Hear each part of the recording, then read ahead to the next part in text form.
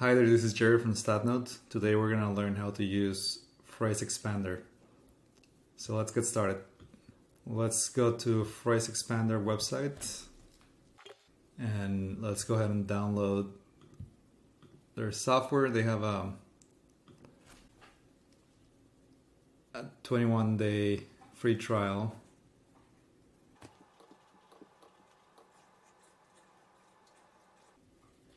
So let's go ahead and run PhraseExpander.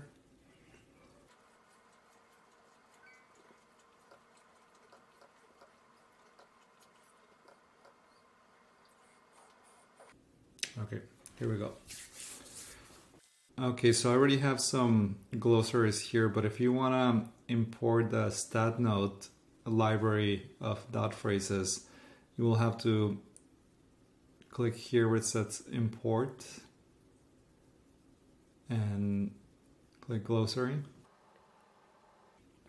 Depending if you got the free version is the StatNote Basic. If you got the pro version with a thousand dot phrases, you will have this one. So go ahead and select it and open. And uh, I won't do it because I already have it here. But this will be the library of dot phrases is organized in um, different categories, uh, specialties. Okay, well, let's get started to actually using this tool. So I'm going to open um, a Google Docs to help guide this this tutorial. So we already installed it, uh, uploaded StatNote. Now um, there are over a thousand dot phrases, so you you can get um, uh, familiar with all the phrases using uh, our book. You can get on Amazon uh, and you can use Kindle Unlimited to get it for free. Um, or you can use the subject index that is in our website. If you just type StatNote uh, subject index, uh, you should be able to see the link here. And um, here's an updated um, guide for all the dot phrases that we have. So go back to, to the tutorial. Okay, so if you want to expand a dot phrase, there are two ways to do it. One is using a quick find and the other one is actually typing out the abbreviation. And all the abbreviations or all the dot phrases start with a semicolon and this is to avoid accidentally typing out something you don't want to expand.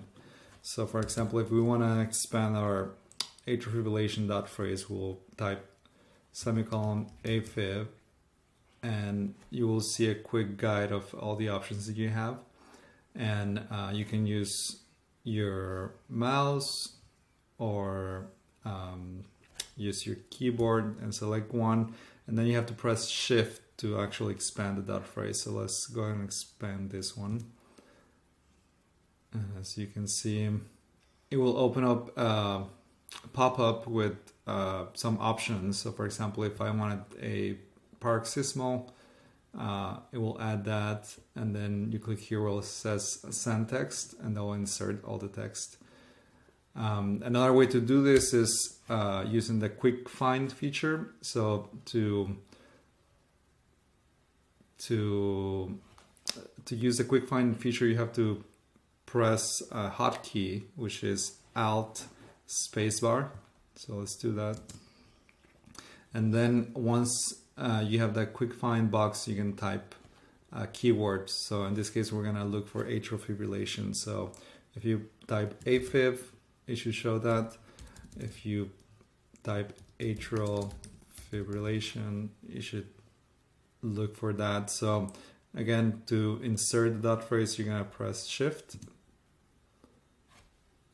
and uh, once you modify uh, your dot phrase you're gonna click send text. Okay so let's do another uh, example. Let's start with diabetes for example.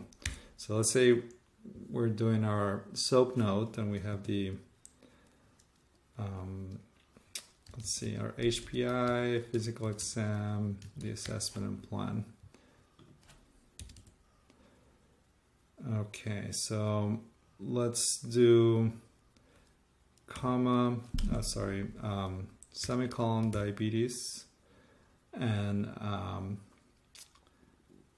all the uh, dot phrases um, have um, there, there are dot phrases for each section of the SOAP note. So for the HPI, there's a dot phrase. For the physical exam, there's a dot phrase, and then there's another one for assessment plan. Some conditions that uh, have procedures or billing codes, you will also find some dot phrases for that. So for example, in diabetes, um, we have the HPI section. So in this case, um, it's uh, diabetes uh, with PO medications or insulin. So let's select the PO medications and press shift. And then um, it's gonna open a pop-up and we're gonna do some selections just to actually edit that phrase and um, with whatever the patient uh, condition is. So let's say if the patient is taking metformin glipizide, we'll select that. Let's say the patient is not compliant. Um, no hypoglycemic events. Um, maybe the patient is checking the blood sugar. Uh, no paresthesias, and the patient already saw ophthalmology for a retina exam, and the patient is not exercising. So all these selections will translate into modifications in the template, and go ahead and send the text. And um, it will insert the dot phrase. So in this case, it was all caps so make sure you don't do that let's do this again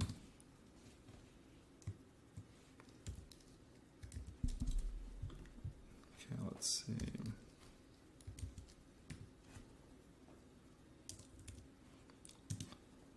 Okay well let's just go ahead and click uh, send text I'll insert the dot phrase. So uh, now for physical exam uh, I like using our extra short physical exam. So let's try something different here. Let's try the the quick find. So again, it's alt spacebar, and let's see PE adult. We have the extra short and maybe we did a foot exam so let's look for that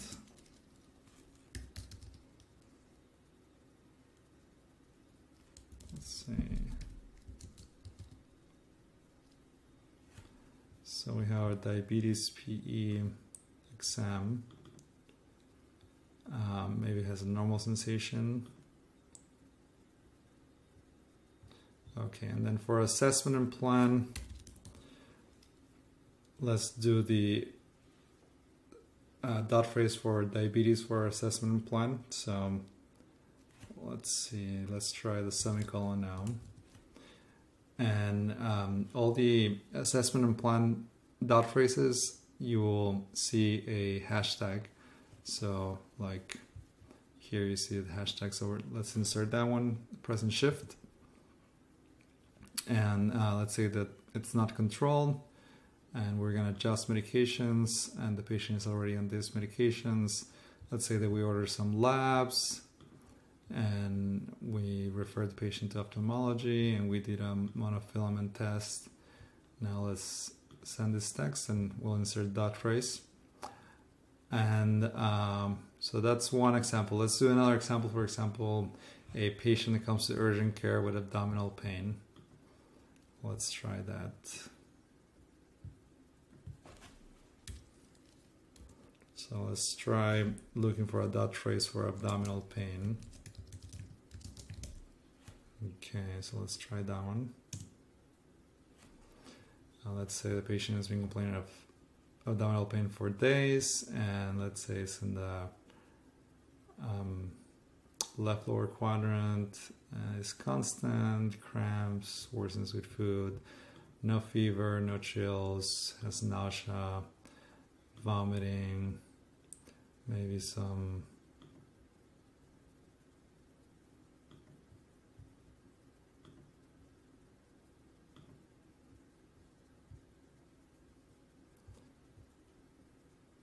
And if the patient is a fem- uh, female, we'll uh, keep this one. If not, we can get rid of it. Okay, and for physical exam, there should be one that is pertinent for uh, with a abdominal exam. So let's look for that. Let's see, P abdomen. Oh. Okay, so it's there. And let's say in the abdomen has um, we said the left lower quadrant was tender. And the assessment plan, let's say if just um, regular gastroenteritis.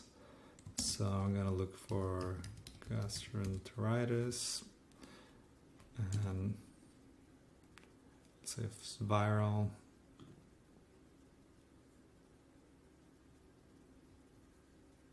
So um, something you might notice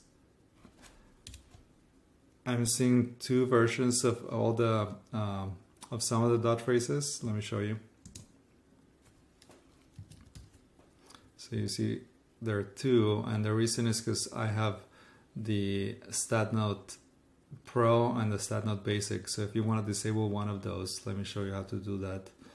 So you're gonna go to PhraseExpander and let's see.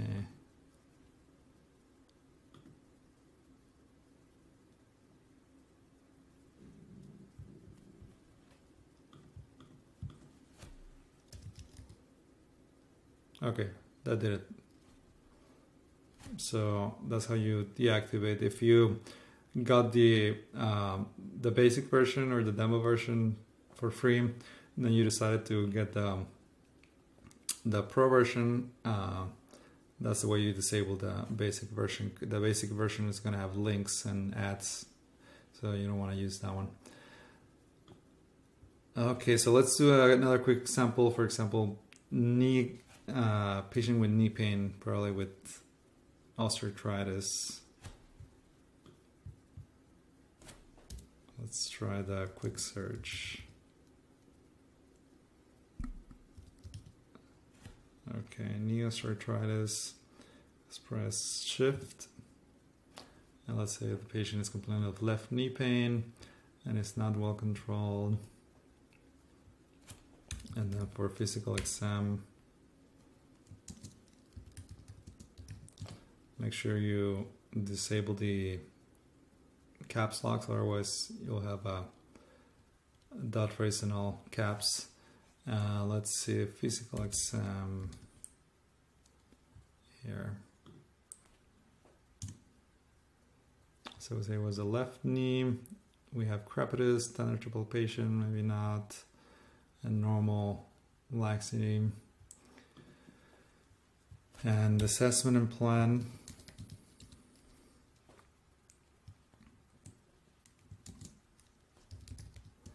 Remember we put a hashtag and we say it was the left side and maybe we consider an injection. So oh remember to press shift and not click on the dot phrase. Let's do it again. Shift.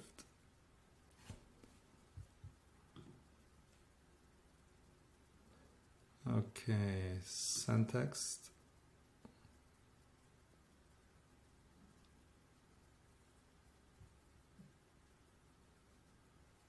Okay, so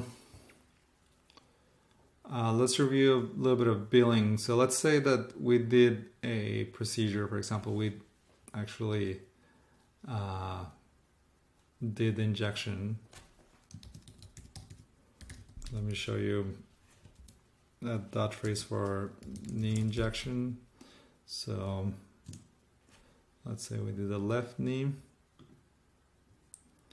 and um, we have dot phrases with CPT codes and um, EM uh, visit codes. So for example, let's say this was a 9213.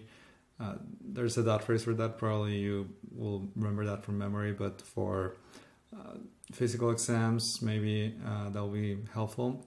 So all the CPT codes and EM codes, you will see a star next to it. So let's look for a CPT code for knee injection. So you see the star here. And there you have the CPT code.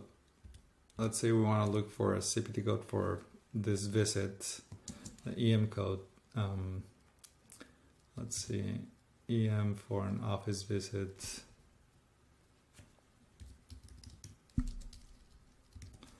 An established patient. So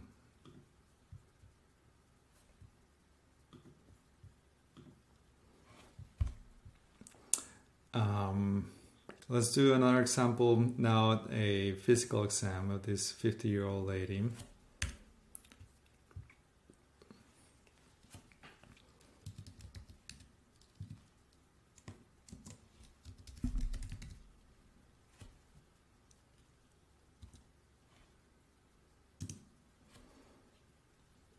Okay, so if it was an established care, we'll click here. Let's say that the patient doesn't smoke, doesn't drink alcohol, no drugs, regular diet, exercises, maybe patient is a nurse, lives with family. And if we wanted to add something to this, you can click here husband and two kids. Okay, and let's say there's family history of diabetes and hypertension and cancer. Maybe we want to specify what kind of cancer. We click here.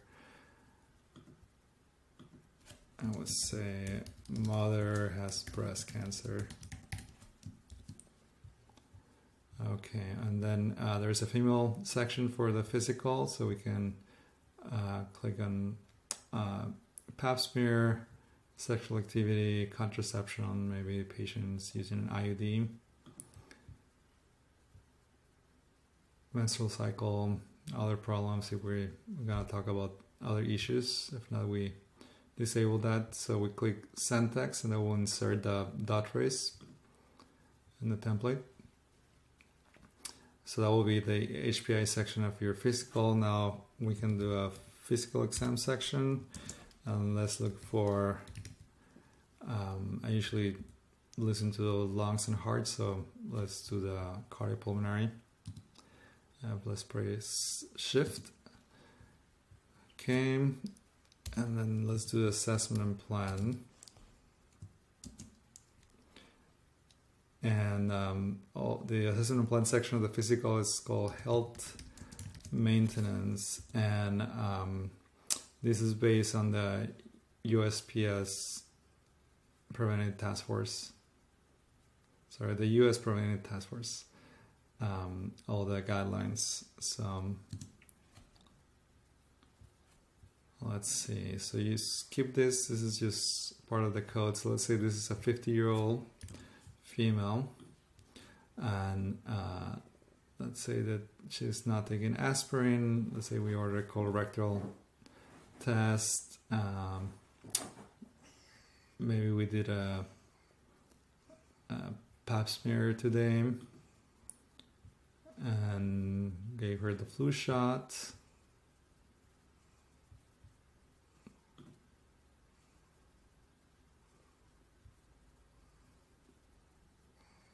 And for example, if we wanted to add the uh, physical exam findings of a pelvic exam, we can add that. So let me show you. So pelvic PE.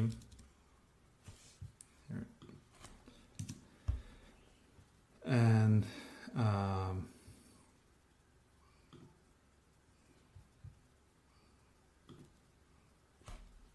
perfect. Now, if you want to recall the EM code for a physical visit or preventive visit, you can look for it. So let's um, do a quick find with Alt spacebar and do EM physical. Uh, let's say this was an, a new patient, so it's an initial visit. Let's press shift and it's based on age. So this patient was 50 years old. So select this one. This will be your code. So you just insert it. Great. So we're gonna stop here. And if you want to learn more, make sure you watch the second part of this video. Take care.